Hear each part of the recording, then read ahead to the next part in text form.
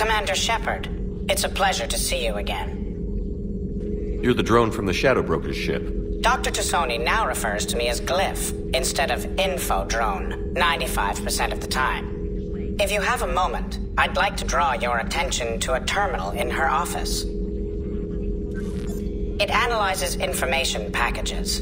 If you find any useful data, I can research upgrades for you. And what should I be looking for? I'll inform you if you've found relevant data. When you do, return to this terminal for your choices. In the meantime, Dr. T'Soni would like to speak with you. Have a pleasant day.